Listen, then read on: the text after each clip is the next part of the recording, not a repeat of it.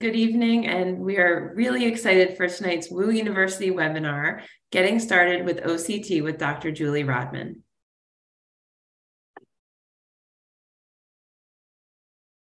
I'm your host tonight, Dr. Jennifer Stewart. So I have the great pleasure of introducing Dr. Julie Rodman. She's the chief of Broward Eye Care Institute in Fort Lauderdale, Florida, and is a professor of optometry at Nova, Nova Southeastern University. She's the instructor of record for posterior segment disease at the college. Her research interests include OCT, OCTA, and vitreoretinal disease.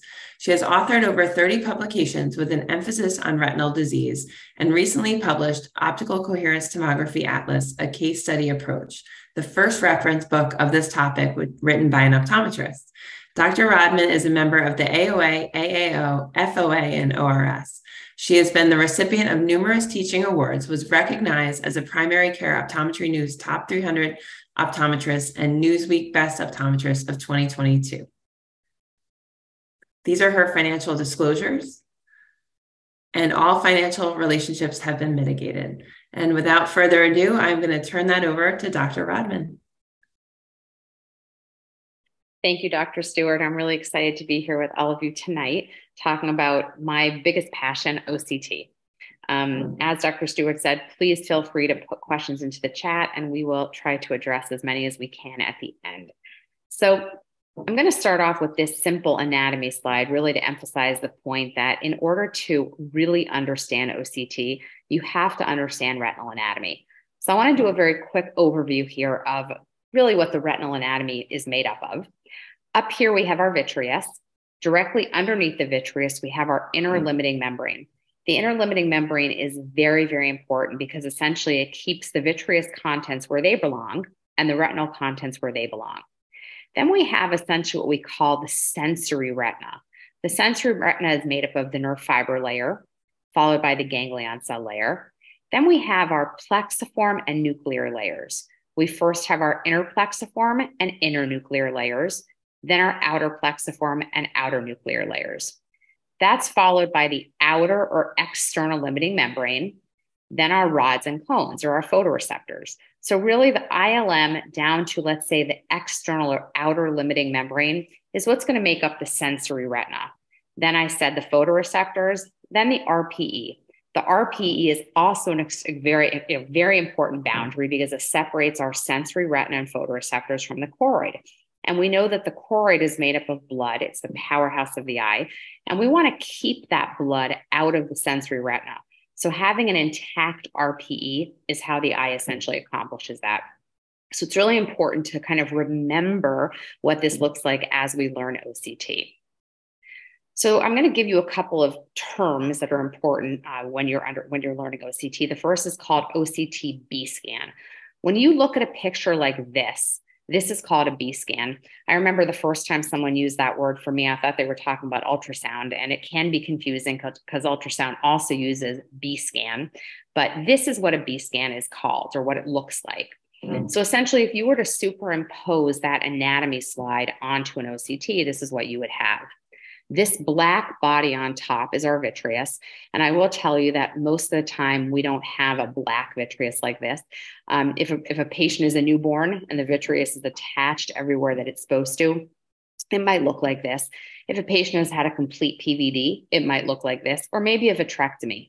But most times, as you'll see throughout this presentation, you're going to see something kind of hovering around or living in the vitreous. Then we have on top your inner limiting membrane, which is a highly reflective tissue. When we talk about OCT, we either have hyperreflective tissue or hyporeflective tissue. So the ILM is a hyperreflective tissue. And I think one of the biggest mistakes that my students make is telling me that everybody has an epiretinal membrane, right? Because of that hyperreflectivity of the ILM.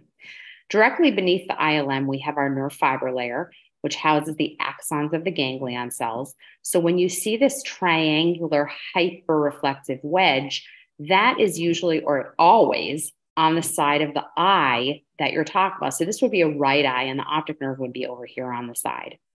Directly beneath the nerve fiber layer, we have the ganglion cell layer, which houses the cell bodies of our, of our ganglion cells.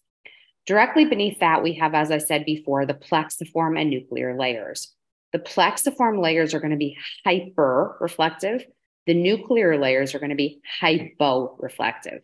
So you can see here, this is our inner plexiform, whiter. Inner nuclear is lighter, is darker. Then we have the outer plexiform, lighter, followed by the outer nuclear.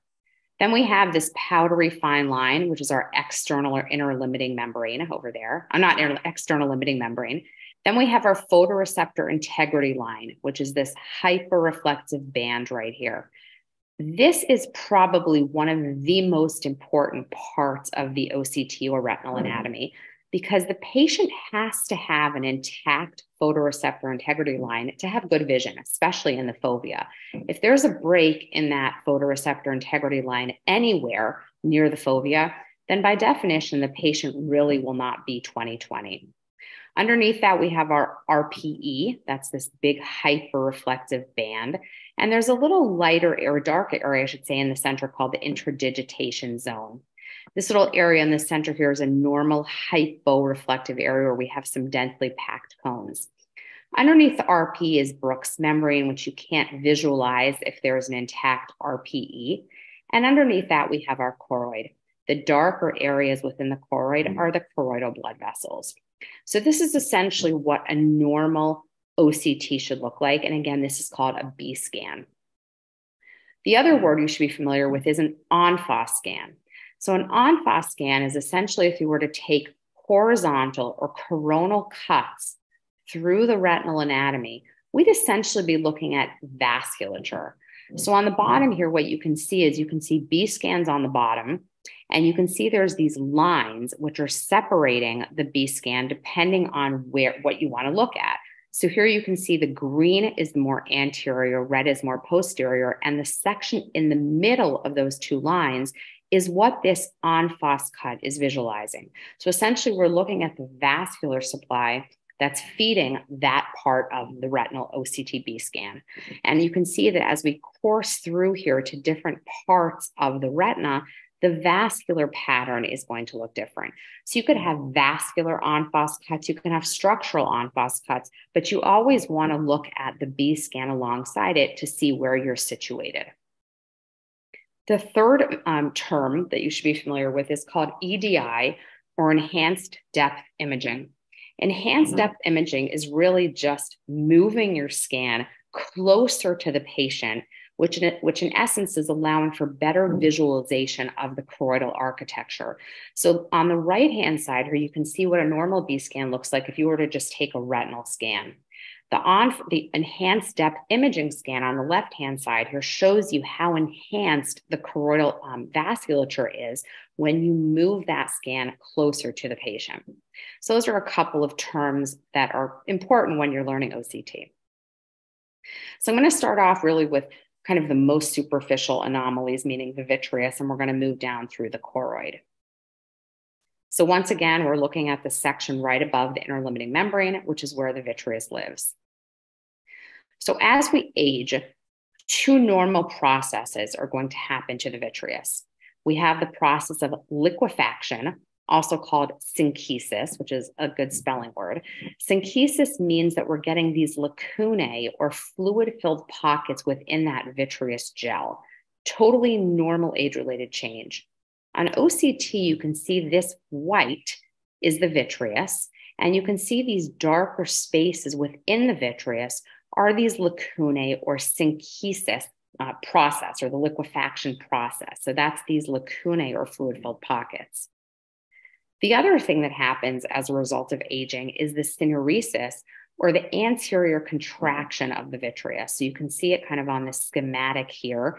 And on the OCT, you can appreciate how the posterior hyaloid, which is the most posterior aspect of the vitreous body, is really just migrating forward or anterior on the scan.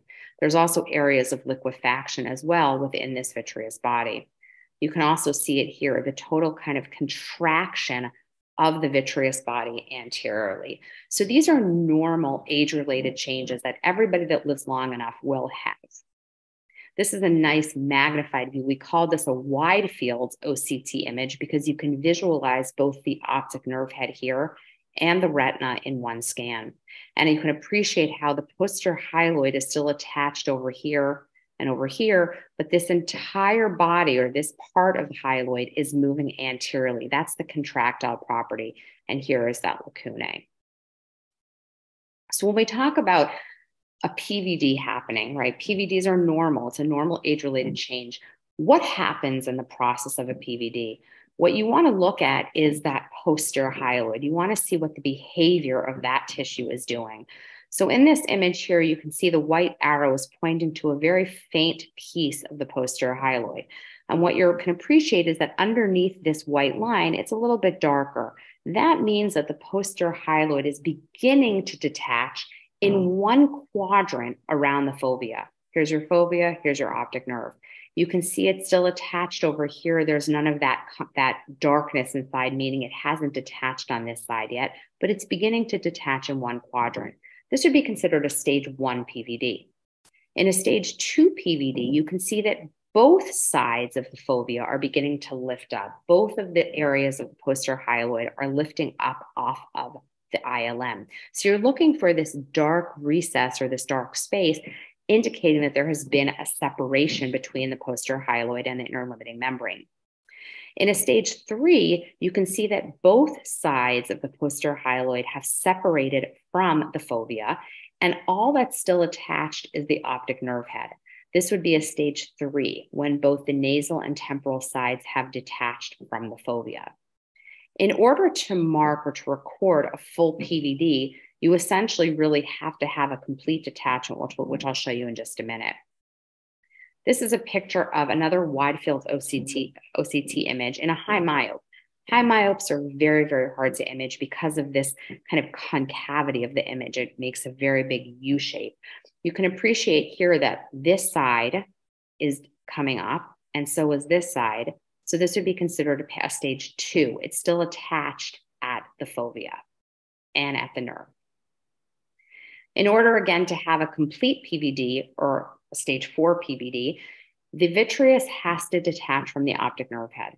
Once the vitreous has detached from both the fovea and the optic nerve head, you can see that it has completely floated up into free space. That's a stage four, indicated by a Weiss ring. That Weiss ring is a round ring that suspends right above the optic nerve head. And again, is an indication that the vitreous has completely detached from both the optic nerve head and the fovea. In this image down on the right, you can see that the vitreous is gone, meaning that it probably has migrated too far up in the scan to be visualized on the OCT. The next kind of anomaly of the vitreoretinal interface is something called vitreomacular traction. Vitreomacular traction is where you have an anatomic abnormality or obscuration caused by the tractional forces of the vitreous you have to look at the three millimeter radius right at the fovea to determine if the patient has vitreomacular traction. What you're seeing here is that the ILM is being pulled up here by the posterior hyaloid of the vitreous. The International Vitreomacular Traction Study Group looked at you know patients that had VMT, patients that had macular holes, and they wanted to come up with a category, a system to classify these patients. And really, the purpose was to determine what the prognosis would be in patients with different types of VMT and macular holes. So, the first way that you classify VMT is by looking at the size of the traction. So, what you're noticing here, if you look at point A to point B of attachment, it's a very small attachment. It measures less than 1500 microns. When something measures let, where when the traction measures less than 1500 microns, that's called focal VMT. Here's another example, point A to point B. And all of the OCT machines have rulers on them. So essentially, you could take the ruler or the caliper and you can measure the distance between point A and point B so you can be sure. In broad, the points of attachment are larger than 1500 microns. So here's point at point of attachment A, point of attachment B, point of attachment A, point of attachment B, somewhere down here. So you're probably wondering again, why does it matter? And really, the answer is the prognosis differs. Patients that have focal VMT are more prone to going on to develop a full thickness macular hole and therefore have not as good of a visual prognosis as someone that has broad, because broad might result more just in a general overall thickening of the retina versus someone that has focal. The other way that we categorize these, we look at size, and then we look at what I call the company that the VMT keeps. If the VMT is happening by itself, nothing else is happening, it's called isolated. So this one I would call a focal isolated VMT. The one on the bottom, you can see that the patient has a little abnormality here, which we'll get to later on in the presentation. So this one I would call broad concurrent VMT because there's other disease processes happening simultaneously with the VMT. The other thing that happens, which is a normal thing, mm-hmm. is actually, I shouldn't say it's normal, but as PVD progresses, if you don't get VMT, you're lucky, but you may get an epiretinal membrane. What is an epiretinal membrane? It's when the vitreous is not detaching properly from the inner limiting membrane. So we get ERMs from anomalous PVDs. ERMs are defined as proliferation of glial cells. The glial cells live in the inner limiting membrane. So again, if you have an anomalous PVD and the vitreous is not detaching properly, then you can get proliferation of glial cells forming this scaffolding or this epiretinal membrane formation. There are two types of epiretinal membranes. We call them grade one and grade two. Really, what this correlates with is the severity of the epiretinal membrane. So, a grade one epiretinal membrane is where you can see this cellophane like tissue kind of hovering in the posterior pole here, but the, the blood vessels and the surrounding area look fairly normal aside from that cellophane-ish like appearance. And on, I'll show you in just a minute. It's very difficult on OCT sometimes to appreciate if it's an ERM type 1 or type 2. This would be a type 2. Here you can see a lot more fibrosis, a lot more traction from that epiretinal membrane. What's happening is that the vessels underneath are getting pulled alongside this scaffold. So when the vessels change what we call trajectory, that is called a grade 2 epiretinal membrane. And obviously, grade 2 doesn't have as good of a visual prognosis as type 1. These are kind of some flavors or some varieties of what epiretinal membrane might look like. You can see here this thick, thick band here is that scaffold or the glial mm-hmm. cell proliferation. And that is resulting in this kind of tractional force on the retina, resulting in thickening, thickening of the overall retinal contour. Here again, you can see the epiretinal membrane here and some sawtoothing. So when the, the when the ILM is just attached kind of at pinpoint locations, we call that sawtoothing. Over here, it's not as obvious that there's a scaffold, but you can see again that little kind of these corrugations resulting in these little cystic filled space, cystic spaces, because it's almost like if you took a tennis sock and you pulled it, you'd begin to see fenestrations in the tissue from pulling with force in that direction. Here's another really nice example of a thick epiretinal membrane with some of that sawtoothing that I talked about. And you can see the thickening, the overall thickening of the neurosensory retina. This is an en face image. It's a structural en face image. So we're not visualizing vasculature here, but we're visualizing the contractile bands or the contractile force of that epiretinal membrane. The other thing in this category that we worry about is the development of a full thickness macular hole. And I think that if all of these categories, the one thing that we don't want to happen is the development of a full thickness macular hole. Full thickness macular hole is defined as a complete loss of tissue from inner limiting membrane down to RPE. So when you see this clinically, what you're going to see is a maroon circle the maroon circle means that you're visualizing RPE, which is has a maroonish color. The little yellow spots are some xanthophylls or carotenoids that you can see kind of sitting in the middle there. But remember that you have to have a complete loss of tissue from ILM down to RPE. This study group I told you about before, the IVTS, not only categorized VMT, but they also categorized macular holes and said, how can we make a universal classification system based on OCT that's easy to follow? So essentially, they looked at the size of the macular hole. If at the smallest aperture on the OCT, it measured less than 200, less than or equal to 250 microns, that was considered a small full thickness macular hole. If it measured again at the smallest point from uh, greater than 250 but less than 400, that's considered medium. And if it's greater than 400, that's considered large. Why do we care? Because the prognosis or the way that we educate our patient is going to differ depending on the size of the hole. A patient that has a small full thickness hole has a much better um, probability of doing well with surgical intervention than a patient with a large full thickness hole. They also looked at the etiology. Why did the full thickness macular hole happen? If it was because of the vitreous pulling, then that would be called primary.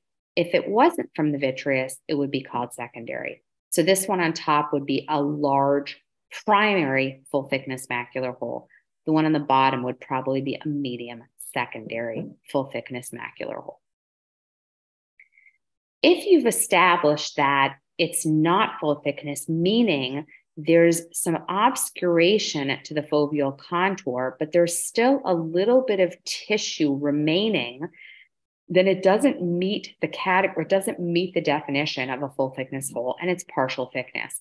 I'm not going to go into a ton of detail on these slides because there's too much to remember, but within the category of partial thickness holes, we have lamellar holes and we have macular pseudo holes. This slide is showing you two examples of lamellar holes tractional and degenerative. But what I want you guys to get out of it is just really to appreciate that because there's still tissue here and here, these are considered partial thickness holes. And it's super important to be able to differentiate between them because, once again, the education and management is going to be very different. This is what a, a pseudo hole would look like. Pseudo holes have this kind of U shape or sink like appearance. And you can see mm-hmm. here that there's still tissue left over. So this would not be full thickness. This is a partial thickness hole. Okay, we're going to move into inner retina now. So we covered diseases of the vitreoretinal interface. Now we're going to go into the neurosensory or sensory retina. Remember that is from ILM really down to the external or outer limiting membrane right above the photoreceptors. So, the most common disease that affects neurosensory or sensory retina is diabetes. Diabetes is a vascular disorder that affects the sensory retina. You can see that on this, um, this anatomical kind of drawing on the side here. So, I started off the webinar by saying that when we learn OCT, we learn by color. Is it hyper or hypo reflective? And the nice thing about OCT is that dark or hypo reflective is really, really simple. It's either going to be serous fluid, and that's 99% of the time, or it's some kind of artifact from a blood vessel or something else, like a media opacity. Everything else is hyper reflective. Okay. So hemorrhages are hyperreflective. Hemorrhages happen somewhere up in the space of the sensory retina. So there's a lot of little white dots that you can visualize through here. Those are most likely inner retinal hemorrhages or dot and blot hemorrhages. Uh, exudates are also going to be hyperreflective. The way that we would differentiate an exudate from a hemorrhage is looking at the layer. Exudates live in the outer plexiform layer. So when you look at your picture here, you can see that this clump of exudates is living in the outer plexiform layer. And that's how we know that that's hemorrhaging and not exudation the picture on the bottom here, here's the black or the hypo reflective spaces. That's serous fluid. 99% of the time, darkness is going to be serous fluid. This darkness is caused by a shadowing artifact from this exudate. That exudate is blocking the signal of the OCT. So you're getting a shadowing defect there. And this patient has exudate and serous fluid. Macular edema, we also have a new way of classifying using OCT. So here is what macular edema would look like. Here are our large pockets of serous fluid, lots and lots of them. Another example down here with some exudate in the outer plexiform layer. And this is called circinate exudate. Circinate means it is appearing in a circular fashion around the fovea. But what I want to emphasize in this webinar is in our new way of classifying macular edema. So when you have established that a patient has macular edema, looking for serous fluid, cystic pockets of fluid, looking for exudate, looking for hemorrhage, if you suspect that there is macular edema, you want to ask yourself the question is it center involving or non center involving? And the way that you're going to determine this is by doing OCT. So the first thing you're going to mm-hmm. do is you're going to obtain a B scan and you're going to look for the abnormalities. You can see that both of these patients have cystic pockets of fluid and they both have some exudate. There's exudate here. There's probably this patient, not so much. There might be some hemorrhages. But how do we know if this is what we call CI or center involving versus NCI DME? We get a thickness map. This little circular kind of grid is called the ETDRS grid, Early Treatment Diabetic Retinopathy Study grid. These nine quadrants are the ones that we want to look at to determine how, how we're going to classify the macular edema. So we're going to look at the one millimeter center subfield. If this center subfield is above 250 microns, that is considered center involving DME. So this patient on top has 347. That is elevated. That's out of the normal um, limits. The one on the bottom is normal, but has a little pocket of abnormality here. So this one's considered CIDME, and this one's considered NCI-DME. Why do we care? Because patients with CIDME have a 10 times more or are 10 times more excuse me, to develop vision loss than our patients with NCI-DME. The other reason we care is because if a patient has center involving DME, but their vision is better than 2025, we do not have to refer them that was um, that came out of protocol v one of the very important studies that was done by the diabetic retinopathy group. And i you know still i still say to my students yes i probably would consider referring these patients. It's always good to co-manage but it's also important to understand what these protocols teach us and what the guidelines are so we can properly tell our patients what to expect. So this is a really nice and easy way of using oct to classify diabetic macular edema. In proliferative diabetic retinopathy, we know that neovascularization lives above the vitreoretinal interface. So you can see this hyperreflectivity. Blood is hyper, living again, coming up into the vitreous space. That is an indication of proliferative disease. These are two really pretty pictures of proliferative disease. Up here, you can see the posterior hyaloid and you can see underneath it, this is a pre-retinal hemorrhage. White is blood. This blood is living between the posterior hyaloid and the ILM. This is a pre-retinal or vitreous hemorrhage. It's hard to say which I would say it's pre-retinal. It's still living underneath the vitreous cavity. And here you can see an, a retinal detachment, a separation of the sensory retina over here from the RPE because of this abnormality up here, these are fibrotic neovascular fronds or bands pulling that sensory retina off of the RPE. In vein occlusions, we're going to get lots of different types of hemorrhages with cotton wool spots. I wanted to show you on OCT what a really big cotton wool spot looks like. Remember that cotton wool spots live in the nerve fiber layer. So these are going to be very superficial, hyperreflective areas, kind of pulling or looking like it's living above the level of the retina, but it's really not because you can see it's still suspended within the sensory space. And here's just macular edema, looks very similar to our diabetic cases in a patient with hypertensive with um, a vein occlusion with macular edema.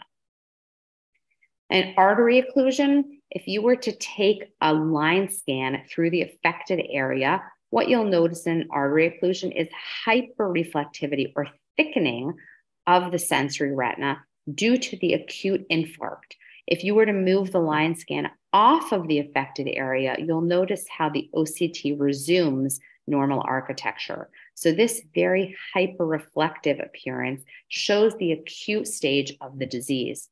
If you were to look at the artery occlusion over time, this is essentially a month apart. This is the acute stage that I just showed you, that very hyperreflective thickening of the tissue. Hmm. Over time, in an artery occlusion, the tissue is going to atrophy or die down and become very, very thin. For outer retinal disease, once again, we're looking at photoreceptors, RPE, Bruch's membrane, and choroid. So diseases like age related macular degeneration. So we'll start off with drusen. Drusen's oftentimes mistaken for exudate. And the way that we're going to make the differentiations, we're going to look at the layers. Remember that exudate live in the outer plexiform layer. Mm-hmm. Drusen live between RPE and Bruch's membrane. So when you see on OCT some hyperreflectivity between RPE and Bruch's membrane, that is too low down to be exudate. That indicates that it is drusen. So here you can see, if you look at this picture, this area here is my drusen. It's living below the RPE, but above Bruch's membrane. So all these little bumps here are drusen. And here's a more magnified view, just so you can see. Up here is my photoreceptor integrity line. This is my RPE right here. And the abnormality is living below the RPE, but above mm. Bruch's membrane. This is another example of a patient that has some pretty, I would say, medium to large soft drusen. And you can, again, if you were to trace your RP over here, you can see that these elevations are living below the RPE and above Bruch's membrane. So these are soft confluent drusen. You can use OCT to track drusen over time. This really just shows you how patients, you know, let's say you're, you're managing somebody with AMD and you're trying to judge if the drusen has changed in size. The change analysis is a really nice tool because increase in drusen size is an indication, obviously, that the disease is getting worse. There's also another kind of drusen called reticular pseudodrusen. Reticular pseudodrusen does not live in between RPE and Bruch's membrane. It lives in the subretinal space. So if you were to look at this image here, you can appreciate that this is RPE right here. The drusen is going above the RPE. This picture down here is another really nice example. If this is your RPE here, look at how the drusen is peaking above the RPE and moving into that subretinal space. On a wider scan or on the full OCT B-scan, you can see how these reticular pseudodrusen almost take like a sawtoothy appearance. They look triangular, polygonal, polygon. I don't want to say the word. they look more pointed in appearance. And it's important to differentiate between reticular pseudodrusen and regular drusen because reticular pseudodrusen are highly correlated with the development of advanced AMD, including geographic atrophy. Let's move on to pigment epithelial detachments. So, when we talk about pigment epithelial detachments, they come in three varieties serous, drusenoid, and hemorrhagic, also called fibrovascular. So, what you want to do to differentiate between your PEDs, I'll call them, is again to find your RPE. Anything that lifts up the RPE is a PED. The question is, what is lifting up the RPE? So, if you look here, you see your RPE is here, the hyperreflective band. Here, my white arrow is pointing to the RPE you're going to look at the tissue or the coloration of what's going on underneath the RPE. If it's all black, that is a serous PED. Okay. What happens if you trace your RP over and you see that the areas underneath the RP look turbid or look kind of grayish? If that grayish color is homogeneous, that is likely due to drusen. Remember that drusen are going to live between RPE and Bruch's membrane. So these are dr- either large drusen or we call them drusenoid PEDs. This little black spot here is fluid that should not be there. In a hemorrhagic PED, if you trace your RP over, you'll notice that there's a lot of variability in the reflectivity pattern below the RPE. There's some hyper reflective coloration here, and there's hypo over here. When you have hypo with hyper, that is likely blood. Blood is made up of serous fluid and bloody components. So if you were to separate those on the OCT, you'll appreciate the differences in reflectivity here. So this is bleeding. This is hemorrhagic or fibrovascular. So, three different varieties, all very different prognoses. Here's an example. If again, if you were to follow your RP over, you'll notice that the RP lifts up here, and you can appreciate that there's differences in reflectivity beneath the RPE here. So this would be a fibrovascular or hemorrhagic PED. It wouldn't be drusenoid, also because of the corrugations in the RPE. When you have a drusenoid PED, they're very well delineated. They're very distinct. When you have a fibrovascular hemorrhagic one, you can see there's corrugations in the contour of the RPE. And that's what you're appreciating here. These are not to be mixed up with central serous chorioretinopathy. In central serous chorioretinopathy, the RPE remains down. The fluid is above the RPE. So remember that always look at your RPE. If the RPE goes up, that's a PED. If the RPE stays down, that's called central serous, also called a neurosensory detachment, made up of black or serous fluid. You can de- determine the chronicity or how long the CSR has been there because of several features. In this OCT, you can see that there's these little hyper reflective kind of dangling pieces here these are actually dead photoreceptors. When you see little dangling pieces like this within the area of, neuro, of uh, serous fluid, that's an indication that these photoreceptors are dead and it has been around for a while. You can also appreciate over here, there's some excess hyperreflectivity, likely the development of a choroidal neovascular membrane. Remember, white means can mean a lot of things, but in this case, probably blood because there's an adjacent pocket of fluid here. So this is a patient that has long-standing CSR. And really the, the lesson with CSR is that if it doesn't go away by three months, we really should be sending these patients out because we don't want the development of a choroidal neovascular membrane to occur. Oftentimes, CSR and PEDs happen in oh. harmony, meaning they happen, or I should say, together. Here you can see a PED. You can see that the RPE is lifted up. And here you can see that the RPE is down. So this is your CSR here, and this is your PED here. Down here, once again, here is your PED. Okay, RPE is lifted up. Here, your RPE is down. So this is your serous, your neurosensory detachment, your CSR. And here's a little bit of fluid also. So a little sensory detachment there also. So when we talk about AMD, the main thing that we want to, or one of the main things, aside from looking for drusen size and pigmentary changes, the main thing we really want to assess for is the presence or absence of bleeding and looking for choroidal neovascular membranes. And we don't have to go into a ton of detail on this, but what you want to assess for is any, again, areas of hyperreflectivity that should not be there. So if you look here and find your RPE and you kind of trace it over, what you'll appreciate with this blue arrow is that there's areas of varying reflectivity under the RPE. And this is going to look very similar to what I just showed you the hemorrhagic or fibrovascular PED is going to look like because guess what? That's the same as an occult neovascular membrane. Occult neovascular membranes live below the RPE.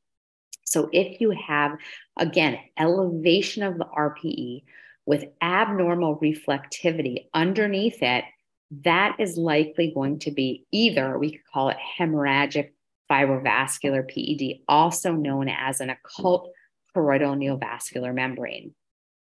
Here's an example. Once again, if you find your RPE, trace it over. The first thing you notice here is there's a little pocket of fluid that should not be there. The RP is going up. And underneath it is all of this abnormal variability in reflectivity, suggestive of mm. a, an occult choroidal neovascular membrane. This patient has vitelliform dystrophy, which is a buildup of lipofuscin. Again, RP is lifted up, and you can see that there's some anomalous characteristics, but look how homogeneous the coloration is underneath the RPE. So this patient has vitelliform. I'm not going to spend a ton of time on this slide because we didn't really talk about vitelliform, but it also it, it can mimic what a choroidal vascular membrane looks like.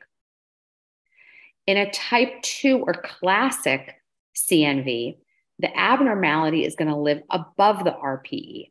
So once again, find your RPE, trace it over. The blue arrow is pointing to this anomalous area of reflectivity above the RPE. And you can see there's some adjacent pockets of fluid and little hyperreflective dots, which are likely hemorrhages. So this abnormal area is above the RPE, and we call that a classic or type 2 CNV. This one here, find your RPE, follow it over. There's like three lumps here.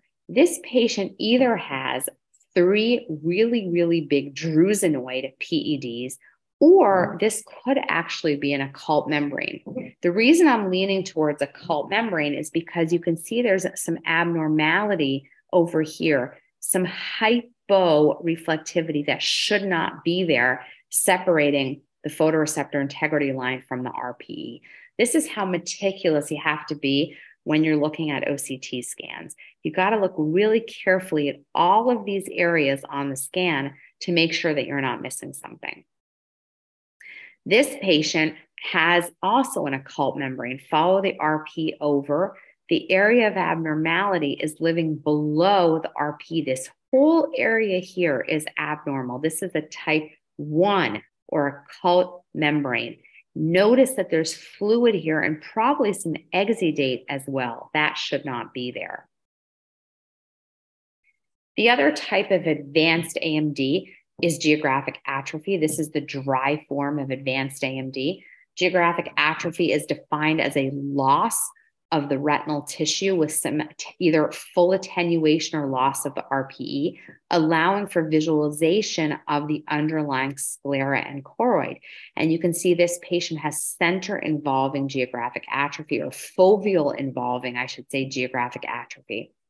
On OCT, what you'll appreciate is from point A here to point B here, you can see that there is complete loss of the RPE. This line is Bruch's membrane. So that is why you're visualizing all the way down to the choroidal vasculature here. Because the RPE is missing, that there's what we call hypertransmission of the signal. The RPE usually is a highly reflective tissue. If the RPE is missing, all of that reflectivity is going to sink down into that choroidal space. Geographic atrophy can take on many appearances. Sometimes there's no sensory retina left. Other times, as in this case, there's some left. But what you're looking for is a loss or attenuation to the RPE with this sinking down of the outer retinal tissue. Here's another example of geographic atrophy with less of the sensory retina visible. That's what I was trying, that's what I was saying here. Here you have some sensory retina. In this mm-hmm. one, it looks like it's almost completely missing. And look at your RP here. It's just, it's gone. All you see here is Bruch's membrane with this transmission defect, this hyper transmission defect into the choroid. And you can see these little bumps here are drusen living between the RPE and Bruch's membrane for purposes of time, I think we have a few minutes left. Let me skip over polypoidal. I'm going to go over OCT of the optic nerve because I know this is always an area of interest and this is how I'll end. So I think one of the biggest things that I'm always asked is how do we differentiate between papilledema and optic nerve drusen on OCT? And I will preface what I'm about to say with I still think that ultrasound is, or I, I know that ultrasound is the gold standard for diagnosing optic nerve head drusen. OCT can be used as an adjunct, but it certainly shouldn't be the game changer. Okay. But when we look at the normal optic nerve, it makes a U shape. Okay. It makes a U shaped contour. We know that in papilledema, we lose that U shaped contour. But just a couple of little tips, maybe these will help. We're looking for smooth elevation Okay, you see here, this is smooth. We're looking for something called a V sign, which I put with the little red arrows here. V sign indication that there is fluid in here. Remember, fluid is dark, separating neurosensory retina from RPE. And the other thing I do is I look at the nasal quadrant map to see what the thickness is. If the RNFL on the nasal quadrant is greater than 86 microns, that tends to be more suggestive of papilledema than optic disc drusen. You can also look at Bruch's membrane. If Bruch's membrane is coursing upwards, as you can see here, that means that that increased intracranial pressure is pushing Bruch's membrane anteriorly. And that is more, in fact, we don't see that with optic nerve head drusen. So looking for that anterior displacement of Bruch's membrane. Optic nerve head drusen, lumpy, bumpy, no V sign. In fact, you can see that this is kind of a straight contour on the sides, no V sign. And Bruch's membrane is going down, not up. And you can see that here, how Bruch's membrane is coursing down and just another picture of that lumpy, bumpy optic disc drusen. So I think we'll stop here.